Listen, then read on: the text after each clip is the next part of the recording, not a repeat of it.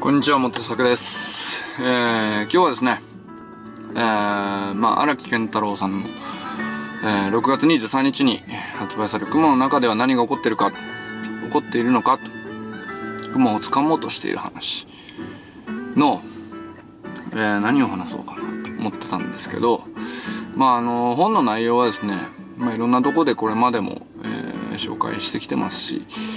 えー、まあ、ね、全文を PDF で公開したりしたんで、え、読んでた方も多いと思うんで、えーまあ、どういうふうにですねあの本が、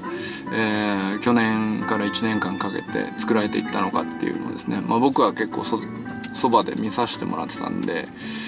えー、ちょっとその辺の話をちょっとずつしていこうかなと思ってます。でえっと一番最初にあのまああの編集者の方がですね永瀬俊明さんという方なんですけどベレ出版の永瀬俊明さんという方で、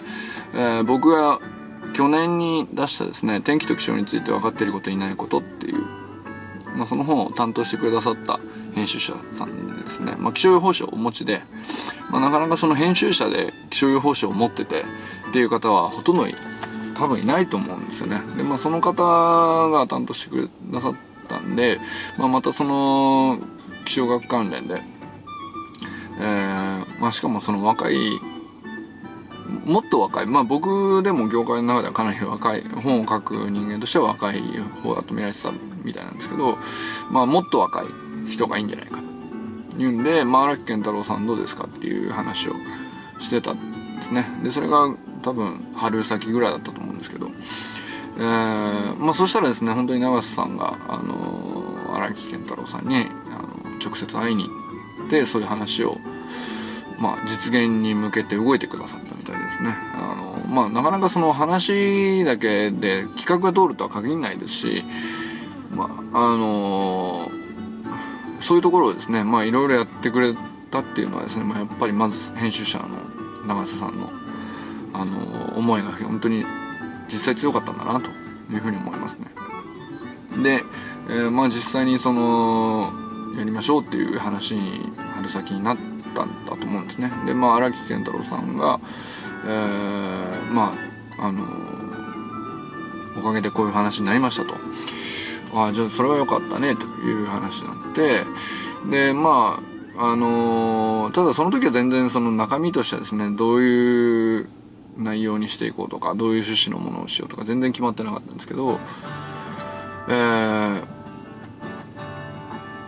まあそれで彼自身もですね、まあ、どういうことを書くかで半年ぐらい悩んだらしいんですよねあの荒木さん自身が。あのまあ大枠はぼんやり決まってたと思うんですけど、まあ、文章が全然進まないと。で、えー、8月ぐらいにですねあの、まあ、やっぱりあの荒研の良さは、まあ、こういうとこじゃないみたいな話をですね僕とか、えー、佐々木京子さんとか、まあ、中村織夫さんとかであの、まあ、Facebook でやり取りしながら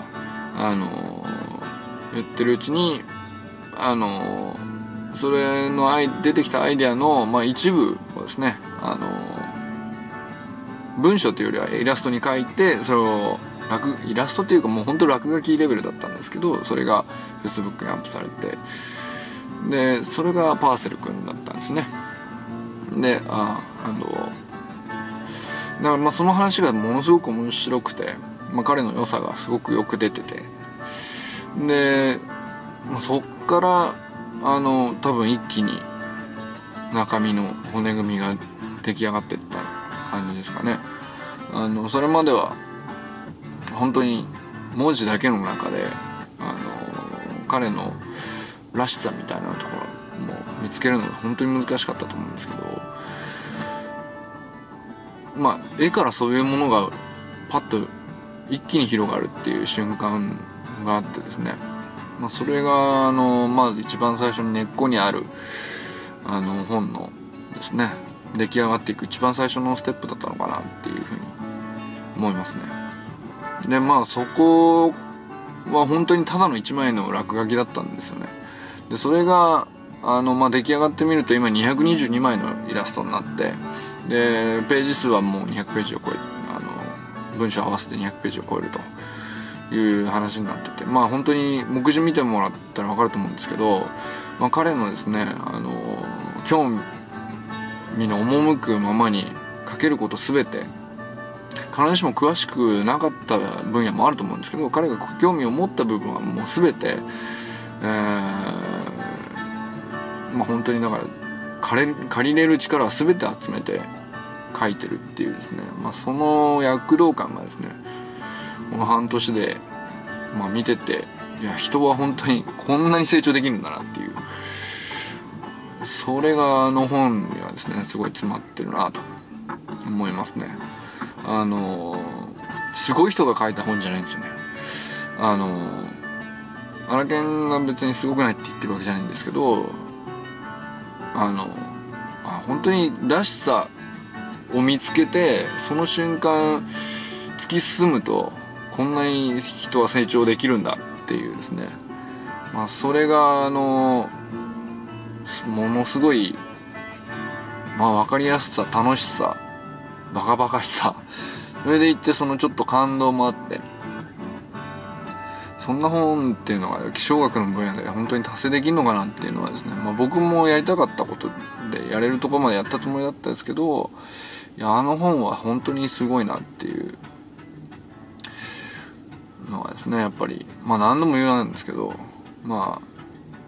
あ著者の荒研自身がどんどん脱皮して成長していく過程が詰まりつつなおかつですね、まあ、全体としての完成度もものすごく高いっていうですね。あの、まあ、そういう出来方ってっていうのはですねもうあのあるんだなっていうことを知りましたね。だからでまたさらにそのあの次の人を紹介してまた新しい気象学の本また新しい若い人が書く気象学の本っていうのが企画あるらしいんですけど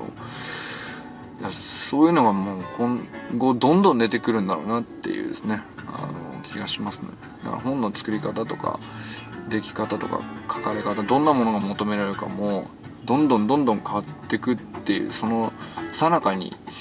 まあいて、まあ、この一冊の本に、まあ、僕はたまたまこうにも立ち会えたわけですけど、ま